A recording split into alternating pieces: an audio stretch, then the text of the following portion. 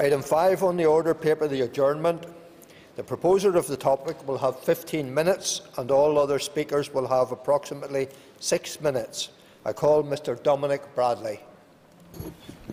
gur mí mai agat uh, fríomh leas cean cóile agus tá uh, achas orm uh, an rún seo a bhú faoi an rinn éigendála in ospedéal cnoch na nóí in Jurkentra. Thank you very much, uh, Mr Principal Deputy Speaker, and uh, I'm pleased to propose uh, this debate on the emergency department at Daisy Hill Hospital in Newry. And uh, I thank those colleagues who have uh, remained behind to participate in the debate. And uh, I'm aware that Mr Kennedy and Mrs McKevitt have been in touch to send apologies. They were unable to attend because of other matters. Uh, Mr Principal Deputy Speaker, as you probably know, Daisy Hill is one of uh, the most outstanding hospitals on this island. And uh, I want to begin by placing on record my sincere thanks and appreciation to all the dedicated staff in the hospital for their uh, continuous care, compassion and professionalism as they care for thousands of patients who pass through the hospital each way. And uh, on a personal note, I want, them, I want to thank them for the emergency care they gave to a close relative of mine uh, recently, uh, who was admitted in the early hours uh, of the morning and who received excellent care, and care, I have to say, which saved his life. So, Mr uh, Principal Deputy Speaker, you know, whilst, whilst I speak here today, uh, it's not something which is theoretical to me or to anyone here. Uh, it's a topic which is a life and death topic to our constituents and to our families in the area. Uh, as I said, Daisy Hill is one of two acute hospitals uh, in the Southern Trust area, the other, of course, being Craigavon. And whilst I raise this issue here today, it's not a question of pitching one hospital against the other. Obviously, we need both hospitals, but we need to uh, sustain proper investment on both sites. Uh, in recent years, there has been uh, the perception uh, that services have been withdrawn from Hill and transferred to Craigavon Area Hospital. And I suppose the most recent, recent decision was that uh, to relocate the stroke, stroke, unit from Daisy Hill to Craigavon. And uh, this incensed uh, the local people and uh, it is one that I'm on record of opposing here in this House and elsewhere. But today, Mr Principal Deputy Speaker, I want to raise the issue of the pressures on the emergency department at Daisy Hill Hospital. And obviously, I'm bitterly disappointed that there's no minister here to respond to the speeches made by members, myself, uh, and uh, the public who are viewing today's proceedings and those in our constituency who are interested in the sustainability of the emergency services at Daisy Hill will indeed quite rightly take a very poor, uh, very dim view of the Minister's non-attendance. Uh, obviously, our health service is under great strain, and uh, I don't have to leave my own constituency uh, to see that for myself. Uh, I already referred to the decision to withdraw the stroke services from Newry, uh, but in South Armagh also we have extremely poor ambulance response times uh, to the extent that the local community have had to um, get together and form a first responders group.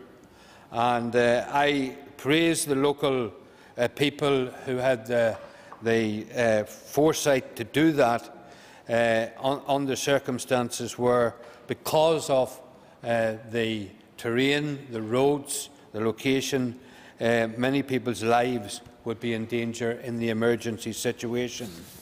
Um, we also have the Trust's uh, proposal to permanently close the minor injuries unit in Armagh. Uh, these may be viewed as different parts of our health service, but taken together, the picture they paint is not a very good one.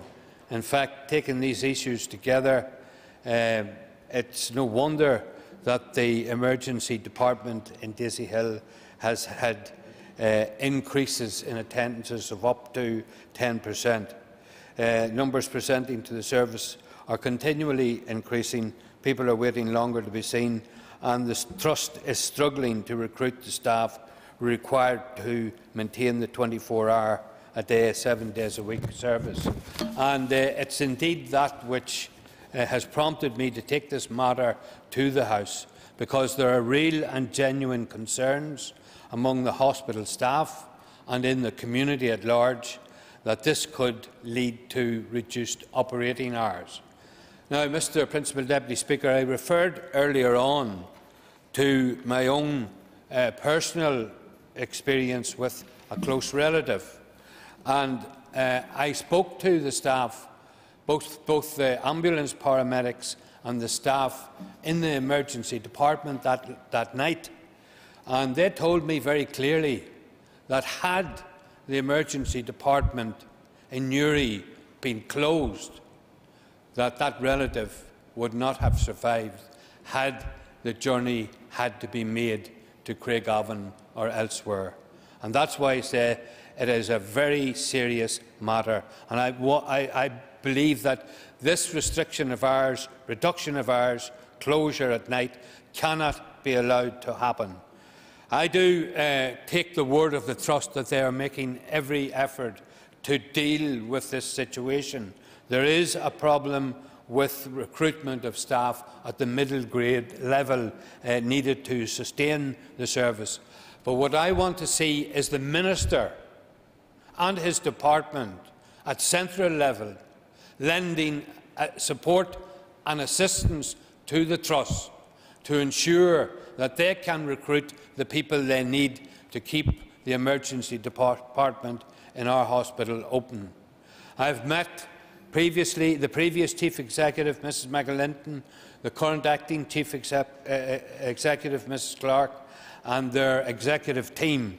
Uh, and I do appreciate, as I say, the efforts that they're making to address this problem.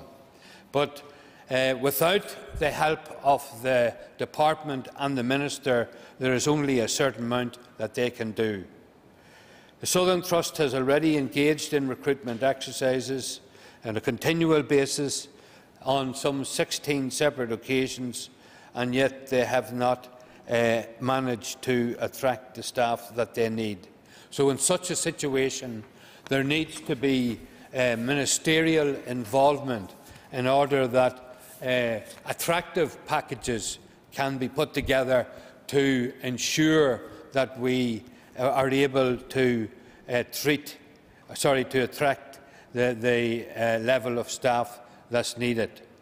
Um, a, a, detailed action plan has been drawn up, has been drawn up by the trust and uh, has been agreed, and that will support the continued provision of emergency care overnight but, Mr Principal Deputy Speaker, that is only on a short-term basis. Uh, what we want is a sustainable service which will continue into the future and which will not be threatened uh, by staff shortages. We do welcome, as I say, the efforts that are being made by the Trust, but the, the service still remains extremely vulnerable to any further loss of medical staff. Uh, and sustaining the service in the medium to long term uh, is a significant challenge for the Trust without the help, support and assistance of the Minister and his team at departmental level. So um, hopefully, Mr Deputy Speaker, we will not have to continue too long into the future with the here today gone tomorrow ministers who are leaving uh, the health service in the, in, in the lurch. Uh, I want a minister here in the House who is answerable and accountable uh, to the members of the House and to the public at large. We do not have that at the present time. So um, I would repeat my appeal to the Department and to the Minister whenever he returns to lend the type of help, the type of support and the type of assistance to the Southern Trust uh, in uh, ensuring that they are enabled and in a position to uh, attract the level of staff that they need to keep Daisy Hill Emergency Department open 24 hours a day and seven days a week.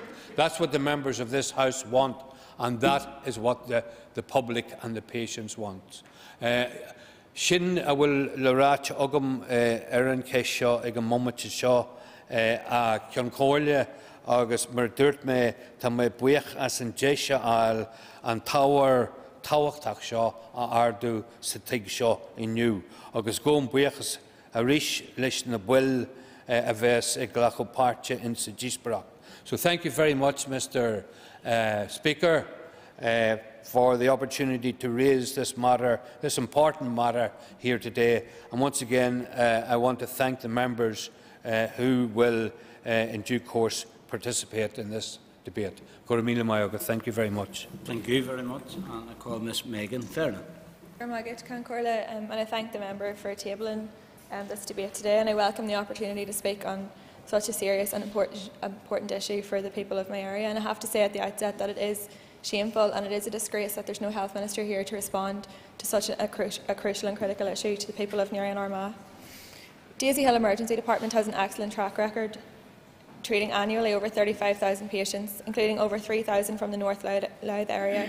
So it's a crucial service for local people, and also um, it's crucial to have that service there in, in the cross-border sense.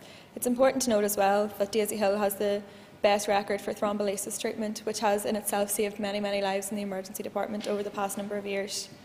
What's also unique about the situation at Daisy Hill Emergency Department is that out of hours is also located on site, meaning patients can be referred directly and patient care, as, as it should, always comes first.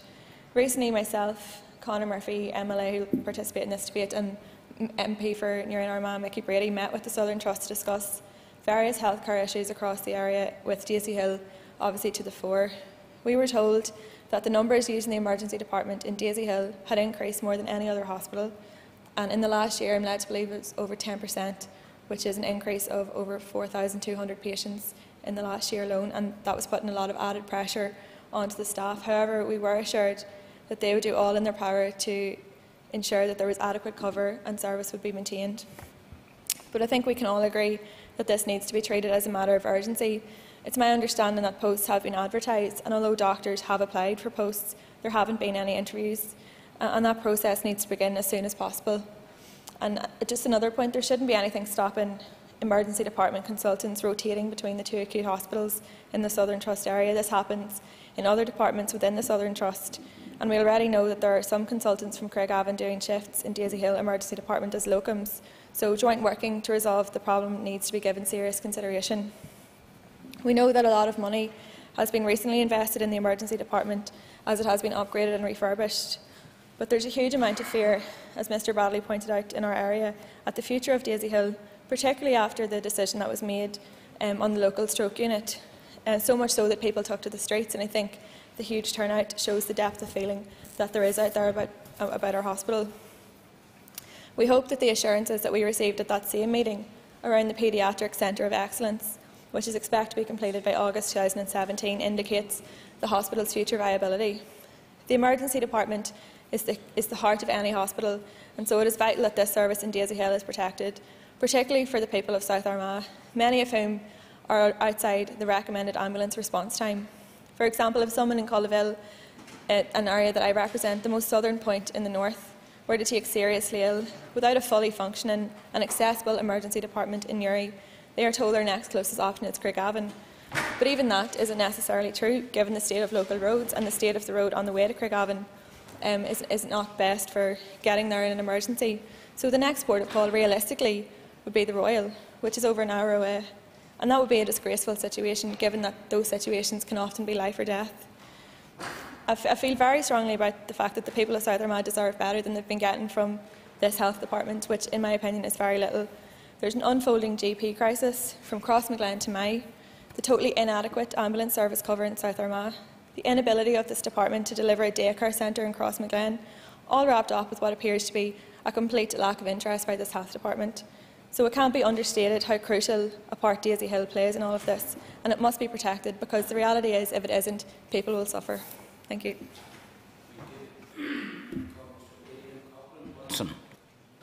Thank you, Mr Speaker. Can I thank Mr Bradley for bringing this issue forward for debate this afternoon. And I'm speaking on behalf of my party colleague, Mr Danny Kennedy, who is attending a funeral and sends his apologies. Danny has asked me to emphasise the value that the hospital has across the local community, across Newry and Armagh. It's very highly thought of, not only in terms of the treatment it provides, but also the skills of the staff that work within it. Even in the most difficult circumstances, the staff are managing to keep the hospital working very efficiently. Indeed, I note that the publication of the latest A&E figures for waiting times, 89% of people presenting to Daisy Hill are seen within, within the four-hour standard.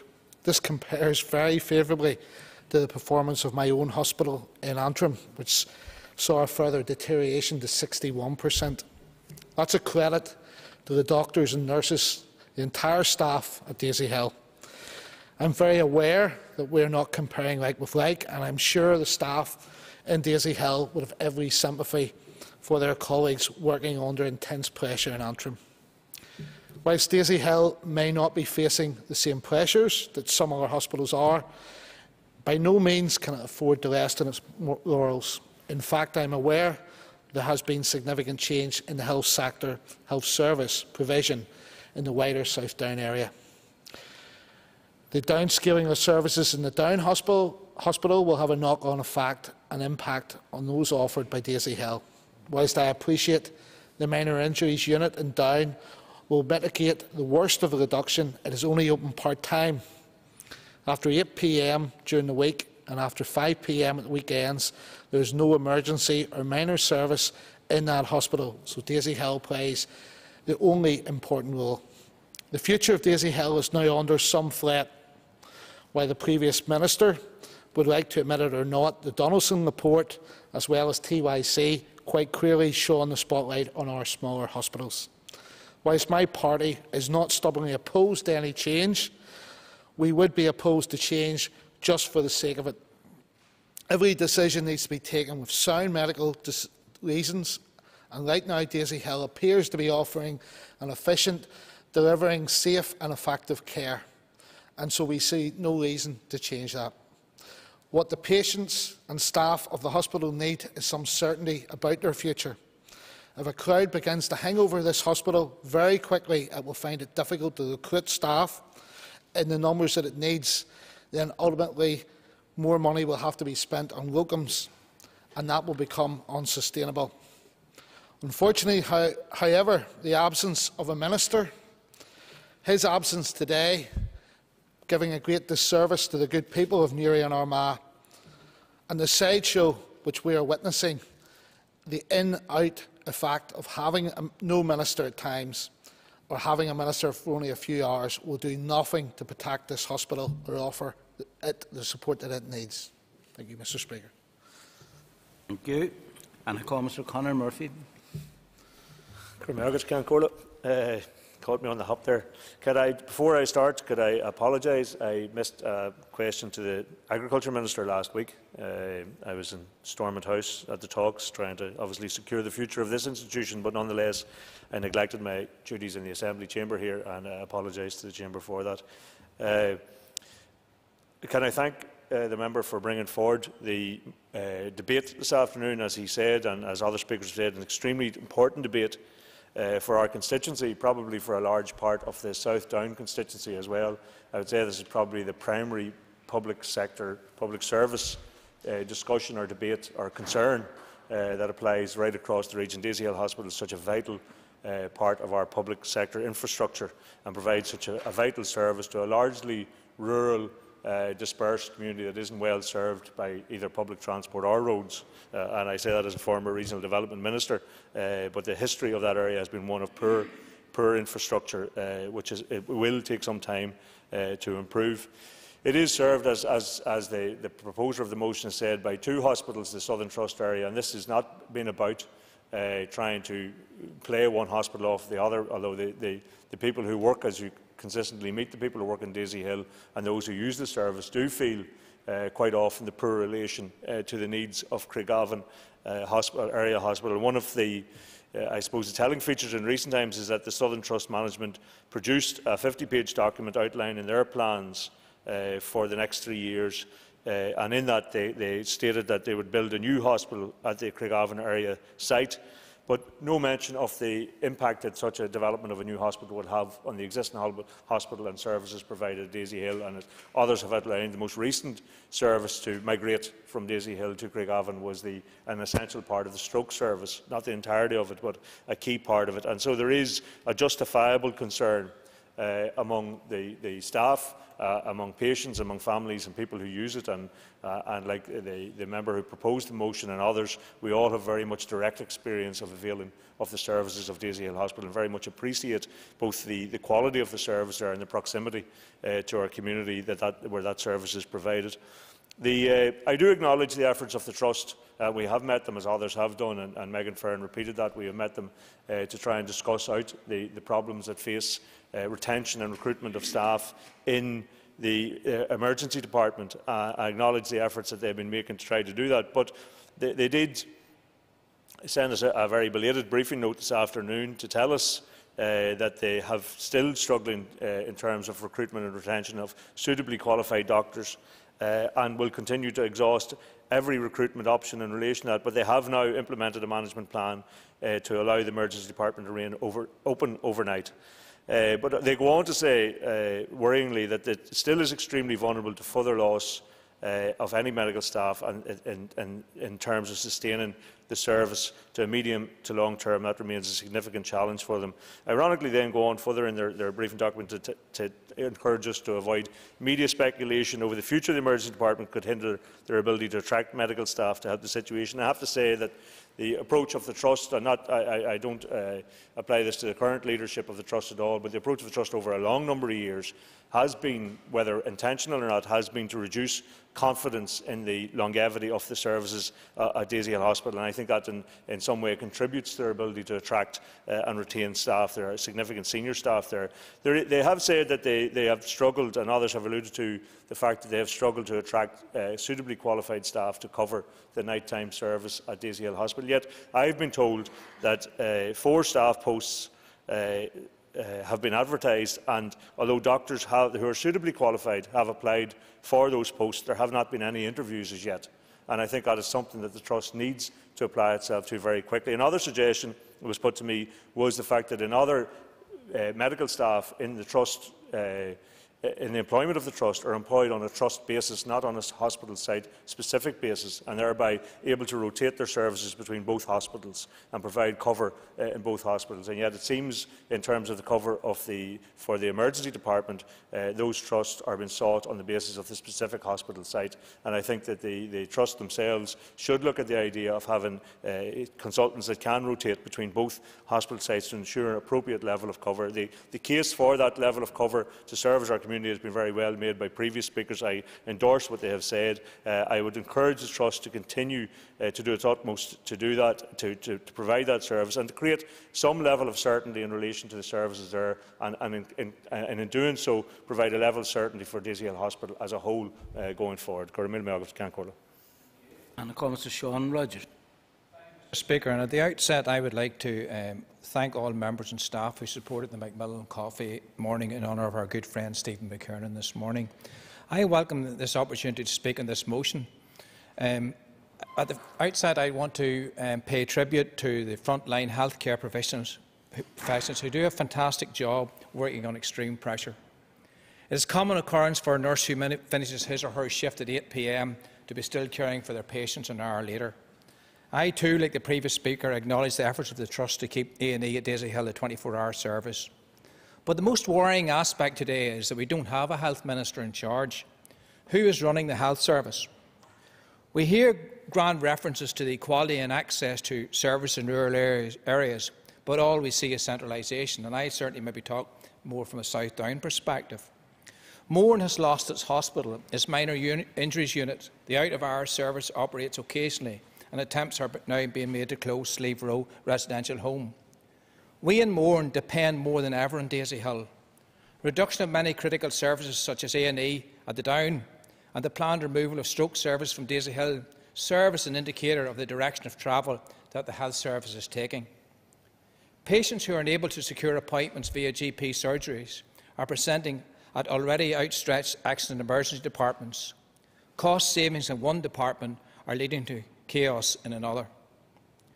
Patients who rely on services at Daisy Hill and Down are being denied access to vital care. South Down constituents are now possibly the most disadvantaged citizens in the north. What is the clinical basis for the removal of the, unit, the stroke unit from Daisy Hill? We all know the reason why it needs to be retained to provide quicker access for people living, living in hospital catchment area to life saving treatment. Yes, life saving. If you have stroke and live in Mourne, in places like Attical or Ballybay, you'll do very well to get an ambulance and get to Daisy Hill in 90 minutes, never mind the golden hour.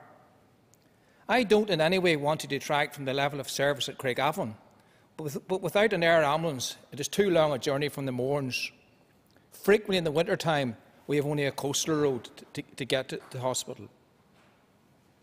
The towns and rural communities of South Down are being marginalised and let down by the gradual erosion of services, firstly at the Down and now at Daisy Hill. I have yet to hear a valid reason why stroke services in the form of a specialised stroke unit in Daisy Hill cannot be maintained there. I understand there is ongoing consultation with the Dublin Government which could result in patients from Louth and Monaghan accessing services at Daisy Hill. Daisy Hill has a fine reputation as a stroke centre. Let's build on it to serve all the people. During the summer, speculation was rife that accident emergency provision at Daisy Hill was facing reduction in services due to staff shortages. At a recent meeting, the acting chief executive of the trust outlined their difficulties at attracting middle-grade doctors and consultants for accident emergency. As the trusts have reduced services to the Down and Armagh minor injuries, this has put even more pressure on Daisy Hill and, and in turn putting more pressure on Craig Craigavon and in turn the Belfast Hospital. Mr Speaker, in a recent consultation improving through care, the SDLP voiced its concern and recognises that it is critical for local people to have confidence in the health service and that health care is best delivered at a local level where the facilities exist. Just to give one example of a constituent, an elderly lady who is in a nursing home in Newcastle, if she takes ill during the night, she has moved to Daisy Hill and, has happened on a number of occasions, has got first-class care. But if she takes ill during the day, she was taken to Downpatrick. Recently, her family were contacted that she had gone to Downpatrick, only to discover she was lying on a trolley there for three or four hours, waiting on a bed to be made available in the Down.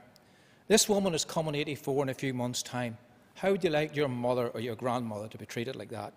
I ask, where's the patient care? Where is transforming your care? Such inhuman treatment. That's what's happening in our health service, and it's disgraceful. The SDLP recognises that while financial responsibility is a major constraint in determining future strategy, it can't be the sole focus. If services Daisy Hill were made more readily available, both north and south, it would contribute to making the hospital even more sustainable in the long term. The Trust must realise that a health service must operate on the basis of a, of a community's best interests, not strictly on a financial bottom line. Thank you, Mr Speaker. I call Mr Chris Hazzard. Uh, can I thank the member for, for bringing this very important uh, adjournment debate to the, to the floor uh, today? Um, I, I, do want to go on record, I suppose, like, like, everybody else who's spoken here today, and say it is quite regrettable that the Health Minister, and indeed I would also say the former Health Minister, uh, the member for South Down, um, Jim Wells, isn't here as well. This is a very important issue um, for our constituents, and I think it is regrettable they're not here. I also want to put on record right from the start, um, you know, thanks and, and pay tribute, I suppose, to the staff at Daisy Hill and indeed the Down, uh, who do a great service to our community and have done for a long time. Very often, when public reps become frustrated uh, at the situation, um, you know, it is often portrayed that you know we're attacking the, you know the entire institution of a hospital, including the staff and frontline staff. This, of course, is a long way from the truth. Um, you know, we would be lost uh, without them. I think, as what's been touched upon by um, Mr Rogers, is I don't think we can separate the, the futures of both the Down and the Daisy Hill hospitals. Uh, you know, two very proud hospitals who served the people of South Down well for so many years. Um, but I think that you know, their futures are very much intertwined. Um, if we look uh, and we know how the Ulster Hospital is sucking so much out of the, the down, I think it's probably similar with Craigavon. Um, if we see the loss of coronary care and, and the emergency department from the down, Reid Strokes uh, unit and emergency and the, the fear of the emergency department from Daisy Hill to Craigavon. So we see the, this big brother effect uh, and it's sucking the life and I think sucking the hope out of so many people who rely upon these services uh, in what is, and this has been also been alluded to by many, the very rural aspect of a constituency such as South Down. You know, we've touched upon, and Ms Fearon touched upon, the, the failings of ambulance cover in what is a very rural area. Um, Mr Rogers talked again uh, about the, the, the, elderly person, and, and, we see this time and time again. Um, in recent months, we've seen tens of thousands of people on the streets of both Downpatrick and Newry. Um, I, think, I, don't think any of these people uh, are immune to change. We know our health system is changing. We know there's a need for change. How we deliver uh, services in a first-class way, of course, needs to change. But what we're seeing is a complete lack of engagement, all too often from the higher echelons of the Department of Health. Uh, we need to see a minister take control of the situation. We need to see a Department of Health carefully lay out a plan, uh, engage with people. You know, we had the situation totally regrettable with the Down that the night before Christmas Eve it was leaked uh, that the Down was going to close. Uh, and panic set in, understandably, and this shouldn't be the way that it's done. You know, so where do we go forward fr from here? Well, having spoken to re recruitment agencies who deal with medical practitioners, they're saying it's very, very possible to follow like what they've done in the south and bring in medical doctors from Eastern Europe who are more than capable. They've come into the Midlands Hospital in, uh, in Roscommon in the south, and they're doing a great job. However, and this is perhaps where it would have been good to have Jim Wells in the chamber, who showed some reluctance the last time to look at this. I think this is an avenue that we need to look at. If there are people out there within the EU or further afield that can come and do a good job for people, I think we need to search them out. I think this is a big, big test for the Minister and, and how we approach this, and so far they're failing.